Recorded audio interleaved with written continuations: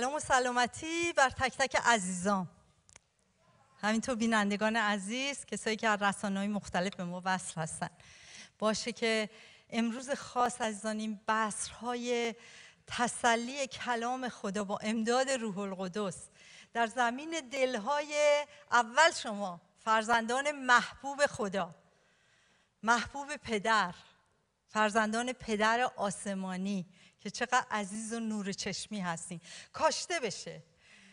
تا در روح و روان شما عزیزان حسی از قوت، رهایی، آزادی، شفا از هر تنش، از هر ضعف، از هر ترس، از هر ناآرومی آمین به ارمغان بیاره. مخصوصا امروز شادی بزرگی دارم. امید بزرگی دارم که این پیامی که امروز به سمتون می‌رسه توشه ارزشمند برای شبرم عزیزم الیزای عزیزم برای سفر خدمتیتون سفر سخت خدمت و همینطور سفر پرفیز خدمت. توشه ارزشمند باشه چراغ راهتون باشه نور راهتون باشه و همینطور بصرهای نیکویی. برای بدن عیسی مسیح خداوند. میوه های عالی برای امنیت و رشد روحانی بدن زیبای مسیح به ارمغان بیاره. آمین. یه آمین محکم میگین؟ آمین. چون امیدم رو این گذاشتم. و آیه‌ای که من امروز خیلی به من انگیزه داد می‌تونم بگم. برای اینکه این پیام رو آماده کنم در دوم سمایل باب سه آیه سی و نوه میگه من امروز با اینکه به پادشاهی مست ام ضعیف هستم. داوود بعد از زمانهای رنج و سختی اینو داره داوود میگه در دوم سمایل باب سه آیه سی و نو بعد از زمانهای سخت و پرتنشی که گذرونده بود تا وعده خدا به کمال برسه. اون زمان مقرر زمان وعده خدا به تحققش بی انجامه احساس ضعف و ناتوانی می‌کرد عزیزان. آیا می‌دونستین؟ ما هم می‌تونیم. برای خدمت خاصی. دعوت عالی داشته باشیم از خداوند. خدمت خیلی بزرگی. ولی احساس ضعف و ناتوانی کنیم. می‌دونستین عزیزان؟ آیا می‌دونستین که در قانون پادشاهی خدا ضعف با قدرت با قوت در حالی که خیلی با هم متضاده ولی همزمان با هم حرکت می‌کنه. من امروز با اینکه به پادشاهی مست شدم اما ضعیف هستم. شما ایمانداران عزیز آیا می‌دونین در خداوند ما عیسی مسیح هویت شما پادشاهیه. شما مست شدین که نه فقط فرزندان محبوب پدر باشین بلکه پادشاه باشین در خداوند. خون پادشاهی در رگ رگه تک تک شما عزیزانی که تولد تازه دارین در جریانه. ولی ممکنه علا رقم هویت راستین خودتون احساس ضعف و درماندگی بکنید موافقین؟ ممکنه بارها در تقاطعهای سخت زندگی پیش خودتون گفته باشه اگر در مسیح من قوت هر چیز رو دارم چرا خستم؟ چرا مریضم؟ چرا انقدر زود از کوره در میرم؟ چرا انقدر ضعیفم؟ چرا در مقابل صبرهایی که خدا منو برای اون دعوت می‌کنه انقدر بریدم چرا پر از ترسم گاهن؟ چرا احساس شکست می‌کنم عزیزان؟ این احساسی که دائما در سفر سخت پرفیز خدمت مخصوصا با اون روبرو هستیم. و از اونجایی که عزیزان شیطان دزد هویته در زمانه حساس خیلی خوب می‌دونه به کجا ضربه بزنه. چه چیزی رو مورد دستبرد قرار بده؟ جایگاه رفیع ما در عیسی مسیح. چون شیطان دزد هویت عزیزان. و باشه که پیام امروز عزیزان قبل از اینکه خادمین عزیزمون رو برکت بده شما فرزندان خدا رو در اون مقام رفیع خودتون ببینین و قرار بگیرین. و امروز خودتو تعریف کنی عزیزان. نه به خاطر اون شرایطی که توش هستی نه به خاطر اون بحران هایی که شاید در اون داری دست و پنجه نرم می‌کنی نه به خاطر اون احساس های منفی که دائما به تو هجوم میاره یا هجوم فکرهایی که در گنبد بعد ذهنت دائما چیزای منفی رو تولید می‌کنه. بلکه خود تو تعریف کنی عزیزان. به واسطه اون مقامی که در عیسی مسیح داری اون قدرت سرمدی او عزیزان که امروز همین امروز اگه با چشمای ایمانت نگاه کنی قادر هر ضعفی رو به قوت تبدیل کنه. آمین؟ و همینطور ممکن ما به عنوان کلیسا عزیزان جمع. احساس ضعف بکنیم. با اینکه تعلیمات خیلی غنی دریافت می‌کنیم. ممکنه احساس ضعف بکنیم. ولی می‌خوام امروز بگم خون شاه شاهان پادشاه پادشاهان در رکهای روحانی کلیسای خداونده.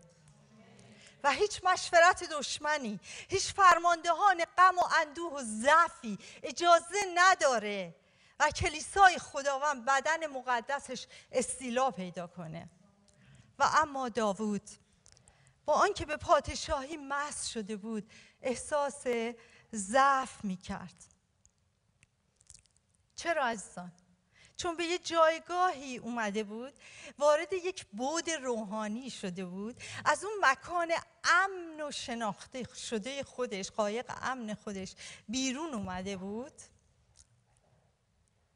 و الان یک احساس منفی به او بروز کرده بود. احساس می‌کرد ظرفیت این مسیری که جلو روش قرار داره نداره که حرکت کنه و جلو بره.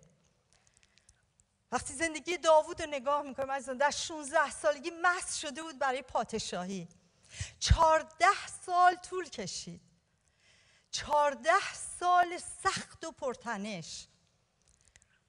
از دست شاول حسود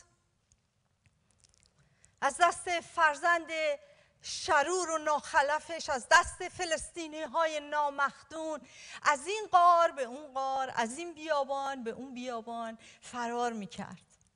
ولی جالبه زیباترین سروده ها رو در همین زمان ها سراییده. هیچ وقت داوود نذاش ضعف برو غلبه کنه یا بگه من ضعیف هستم. یادتونه مزمور 16 در بدترین شرایط نوشته شده. خداوند رو پیش روی خود دارم. چون که به دست راست من است جنبش نخواهم خورد. از این رو دلم شادی می کند جلالم به وجد می آید و جسدم نیز در اطمینان ساکن است. اینو داوود گفته. حالا که داشت وارد یک هیته ناشناخته می‌شد حالا که داشت رویای عظیم خدا تحقق پیدا می‌کرد با یه حس منفیگرایی روبرو شده و داشت رو احاطه می‌کرد. حسی از ضعیف بودن. در برابر مسیر عالی که پیش رو داشت. موسی هم همینطور از یه نمونه خیلی بارز بود. در خروج باب چهار می‌خونید یک روز بعد از چهل سال خداوند به سراغ اومد عبوته آتش رو ملاقات کرد و او رو خطاب کرد که قوم اسرائیل رو از سرزمین بندگی و اسارت بیرون بیاره. یک دفعه موسا به خودش اومد. ولی آخه آخه فکر می‌کنم اشتباهی این دعوت. من خیلی ضعیفم. خیلی ناتوانم. یک زبان الکنی دارم که اصلا نمی‌تونم درست صحبت کنم. از او در کاخ فرعون بود تا چهل سال.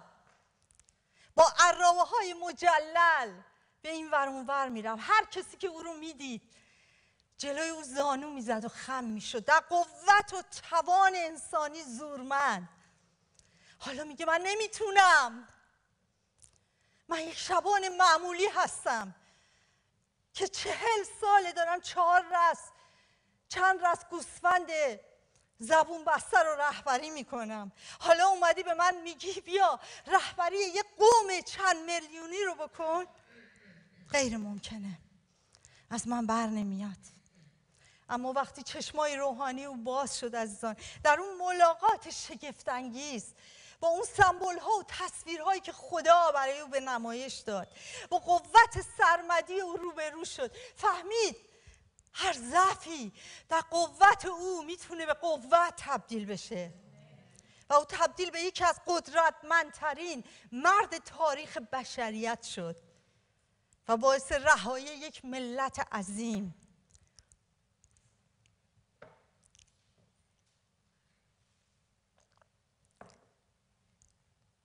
یکی از الهیدانای برجسته مسیحیت به نام دی المودی خیلی تعریف زیبایی از زندگی موسا داره. زندگی موسا رو به سه دوره تقسیم کرده.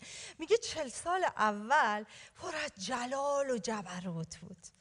پر از قدرت و هوش و شهرت و اون بالا بالاها بود. چل سال دوم در سرزمین مدیان.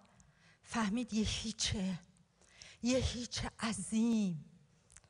و چل سال سوم.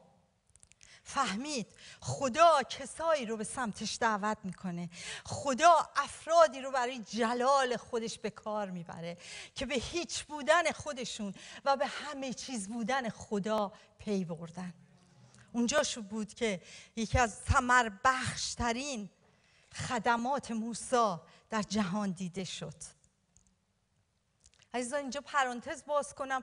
وقتی از قدرت و توانایی دارم صحبت می‌کنم منظورم اون قوت ظاهری نیست عزیزان که خیلی افراد دارن. قدرت روانی عاطفی. دیدی چهار ساعت با افراد دیگه سر و کله می‌زنن جر و بس می‌کنن. من یه موقع میگم خدا این چه مخی داره؟ و سر حالم هست. منظورم اون قدرت انسانی نیست که دوازده سیزده ساعت همینجور جون می‌کنه کار می‌کنه آخر شب سر حاله. منظورم این نیست. اینا همه محصول ژنتیک انسانیه. محصول حالت بدنیه. منظور من اون قوت روحیه عزیزان. آن قوت احساسی. آن قوت عاطفی. آن عزم راسخ. اون قدرت روحانی که در هر شرایطی تو رو از توقف باز میداره عزیزان. اجازه نمیده این من کوچک حقیر این هویت کاذب در مشکلات و سختی ها قد علم کنه و روح حاکم باشه. میره از کوه رو در مینورده و جلو میره. اون قوتی که از روح القدس میاد عزیزان در هر وضعیتی در اون میدانی که پیش روش گذاشته شده به سوی پیشوا و کامل کننده ایمانش در هر شرایطی متمرکزه و جلو میره. و خیلی زمان ها در شروع خدمت در مسیر سخت و پرفیس اینو با پوست و گوشت و استخونم تجربه کردم. در مسیر سخت و پرفیز خدمت که خدا ما رو برای اون خوانده. ما شجاعت خودمون رو کم میاریم. قوت روی خودمون از دست میدیم. خیلی موقع توهی میشیم. خستگی و ضعف بر ما آرز میشه. کلام خدا میگه حتی مثبت ترین و قوی ترین شجاعان خداوند یه همچین احساسهایی رو تجربه می‌کنن در مسیر خدمت. برای همین چقدر نیاز داریم عزیزان. که قوت خودمون و توانایی خودمون رو در اون قوت سرمدی خداوند که وقتی بهش وصلی تقویت میشی و کمک می‌کنی که جلو بری. موسا هم مثل داوود با آنکه برای رهبری محض شده بود اما احساس ضعف می‌کرد. و وقتی در اون ملاقاتی که با خدا شد در اون بوته آتش عزیزان در اون ملاقات اون آتشی که افروخته شده بود در بوته در قلب او شعله ور شد. در قلب او محبت و عشقی رو نسبت به قوم خدا ایجاد کرد که نه فقط اونا رو رهبری کرد. عزیزان بلکه چقدر در این مسیر خدمت ها دشمنی ها سرکشی های قومی سرکش رو با بردباری متحمل شد. قوت خدا یه همچی کاری می‌کنه؟ تو رو از صحنه کمرنگ خارج نمی‌کنه.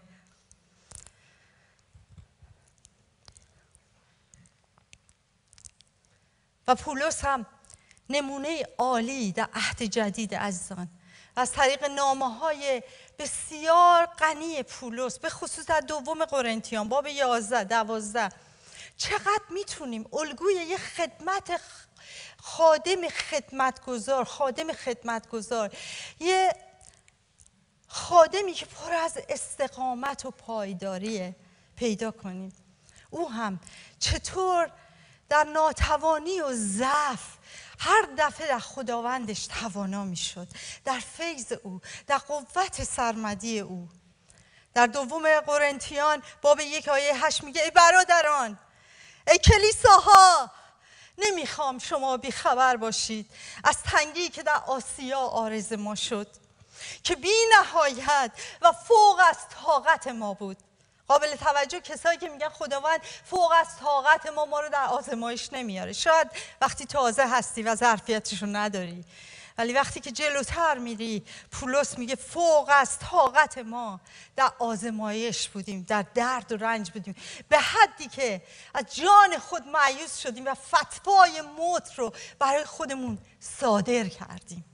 عزیزان تا بر خود و کفایت خود متکی نباشیم. بلکه بر خدایی متکی باشیم. بر اون عیسی مسیح آویزون باشیم. که در اون ذلت و مرگ و نیستی قدرت روح القدس رو از مردگان با جلال برخیزانید. آخه چطور ممکنه عزیزان؟ چطور ممکنه؟ وقتی باب یازده ده و یازده و دوازده رو می‌خونی زندگی این شاگرد عالی قدر این رسول عالی قدر عیسی مسیح حقیقتا میگه آخه پس چطور؟ فیلیپیانو نوشته باب چهار آیه چهار. شاد باشید. و باز هم می‌گویم شاد باشید. هر موقع درد و رنجی داری رنجور نباشین داغون نباشین. با دعا با شکر به حضور خدا بیارین. تا آرامی خدا که فوق از فکر و ذهن بشریه ذهن شما رو در بر بگیره. اینا چیه پس؟ اما پولس با اینکه برای رهبری عظیمی مس شده بود برای اووردن سیل عظیمی از امت ها به سوی مسیح احساس ضعف می‌کرد. از خطرهاش گفته از سنگزار شدنهاش از شکست کشتی شدنهاست از مهنت ها از مشقت ها از بیخوابی ها از تشنگی ها از انات ها از از دشمنی هایی که خارج از کلیسا متحمل می‌شد از انات های برادران کذبه قوم خودش در داخل کلیسا. آخه چطور ممکنه؟ کیست که ضعیف شود که من نشوم؟ کیست که لغزش خورد که من نسوزم؟ اینا رو پولس داره میگه. اصلا پولس برای خودش دلسوزی نمی‌کنه ها. برای خود حقیر و کوچیکش که تو همه ما خیلی قادر قد علم کنه. داره دلسوزی نمی‌کنه هاشا. داره در نور خدا تمام این مشکلات رو می‌بینه. آنچه که بر سرش اومده اما اجازه نمیده از مسیر کنار بره. اجازه نمیده متمرکز این چیزها بشه بلکه در نور خدا متمرکز اون جایی که باید بره خودشو می‌کشه به سوی عیسی مسیح خداوند. و بعد در باب دوازه از جسم رنجور و مریض خودش صحبت می‌کنه. خاری در جسم من که من رو لطمه می‌زد. ازا چه دردی رو می‌کشید این مرد مسیر خدمت؟ البته بعضی هم مفسرین میگن این خار ممکنه دشمنی های خارج و داخل کلیسا باشه. بعضی هم میگن در جسم او یک بیماری غیر قابل علاجی بود. چقدر اوریان چقدر اوریان از زندگی خودش از شخصیت خدمتی خودش صحبت می‌کنه. و چقدر با اقتدار روی تمامی این انات ها داره سلطنت می‌کنه. با قوت او که او رو تقویت می‌کنه عزیزان. و بعد میگه سه بار تمنا کردم التماس کردم که از من این درد بره. و بعد زفرمندانه و شکوهمندانه ترین اعلان خدا رو به کلیساها ابلاغ می‌کنه. و بعد مرا خداوند گفت. بعد از اینکه این همه دردا رو گفته فیض من تو را کافی است.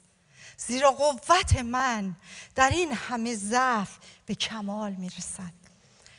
عیسی خیلی پرجلاله. برای عیسی مسیح خدمت کردن این چنین. با روح قدوس الهی و بعد شادمانه و زفرمندانه می سرایه. من این متن او رو مثل پرستش می بینم مثل سروده گرانبها. پس به شادی بسیار از ضعفهای خود بیشتر فخر خواهم نمود. تا قوت مسیح در من ساکن شود. بنابراین از ضعفها رسوایی ها زحمات تنگی ها احتیاجات به خاطر مسیح شادمانم. زیرا که چون ناتوانم آنگاه توانا هستم.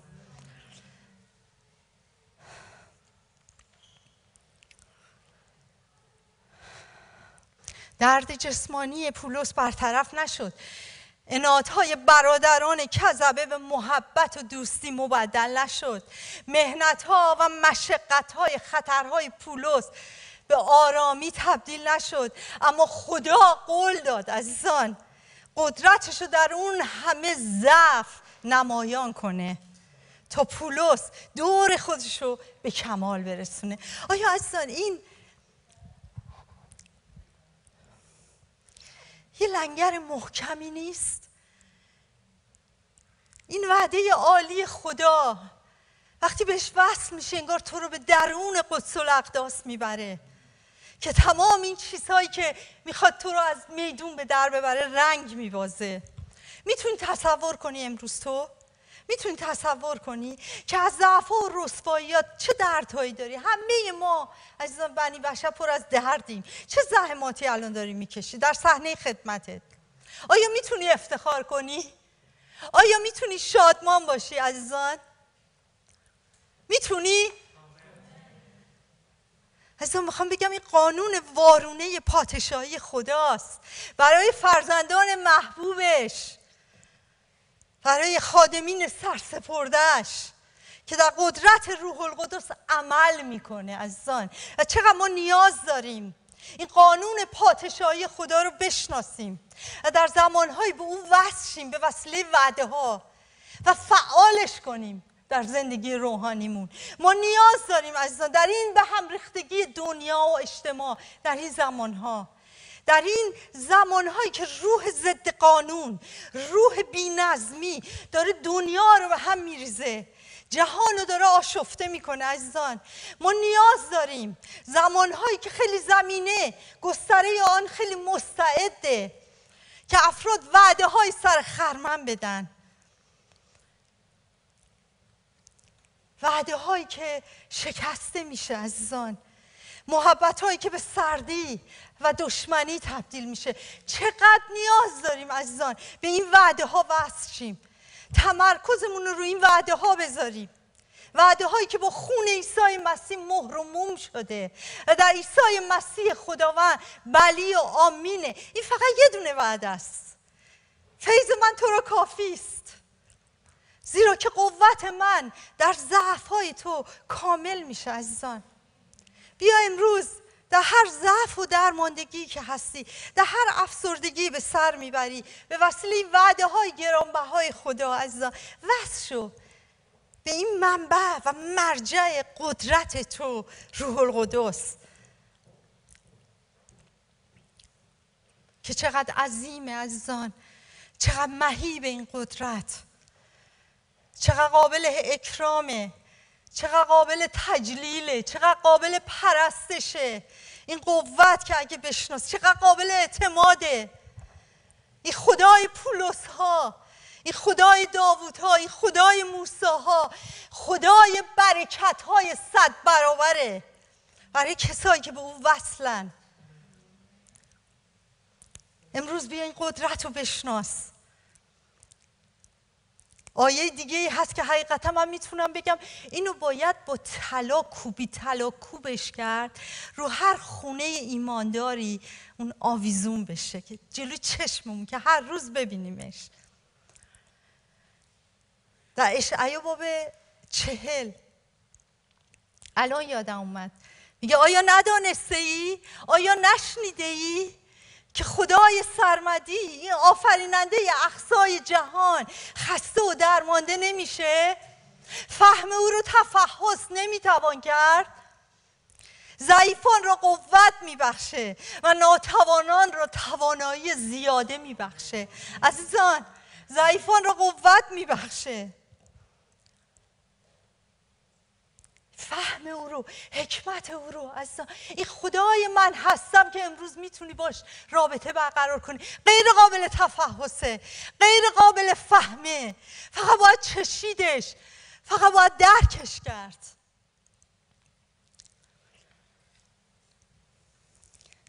و این قدرت سرمدی این خدای آفریننده جهان که خسته و درمانده نمیشه.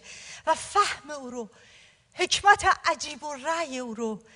از تفحص نمی‌توان کرد. امروز می‌تونه به تو شبنم عزیزم الیزای عزیزم قوتی رو بده که از علا آراسته بشین مسیح رو بده که هیچ چیزی نتونه پاهای شما رو مثل مرتدا به عقب بکشه. که فقط یک راه داشته باشی که انتخاب کنی. در خطرها در تاریکی ها در رسوایی ها در دشمنی ها او رو پیروی کنی. چون هرگز و هرگز عزیزان به فرزندان خدا به خصوص خادمین سرسپردش این انتخاب داده نشده. هرگز این انتخاب داده نشده که از مسیر پیروی او حتی یک سر سوزن این برتر بریم امروز این مس این قوت اینجاست که شما را از علا آراسته کنه. که نه فقط به قول اشعیا بدوین و خسته نشین بخرامین و درمانده نشین بلکه مثل عقاب در آسمان های ایمان پرواز کنین و بدن مقدسش رو با اون توانی که روح خدا میده تیمار کنین به راه راستی و حیات منتقل کنین نه کمتر از این. آمین. سرهای خودمون خم می‌کنیم. ای خدای عالی. می‌خوام اعلام کنیم خداوند. می‌خوام اعلام کنیم کلیسای تو. هرگاه چون ناتوانیم آنگاه توانا هستیم.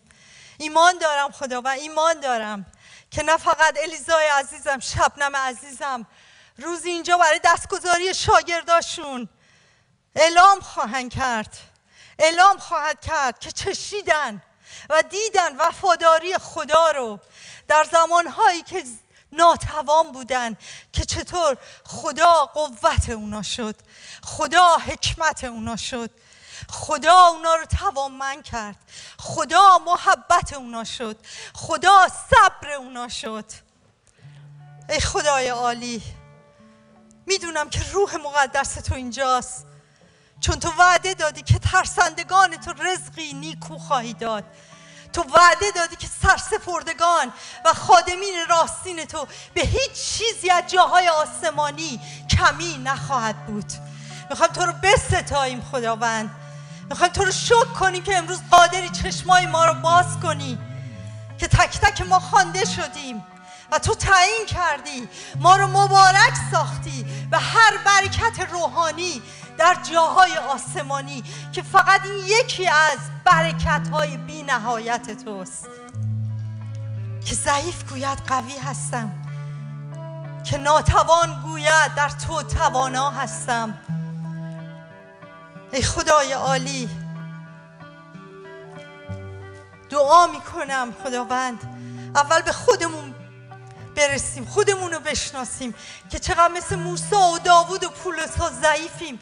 تک تک ما در این دریای طوفانی و خروشان خدمت مثل اون قایق پوسیده هستیم که هر لحظه ممکنه زیر امواج بریم. اما می‌خوایم اعلام کنیم تو سکاندار زندگی و خدمت ما هستی. تو فرمان زندگی و خدمت ما رو در دست تو گرفتی. می‌خوایم اعلام کنیم که از تو امنیت داریم از تو پیروزی داریم از تو قوت داریم. کلیسای مجید تو باید هر لحظه در حضور خدای سرمدی که قوتشو تواناییشو تفحص نتوان کرد باید بسرایه با پیروزی. زیرا که چون ناتوانم آنگاه در تو توانا هستم. آمین و آمین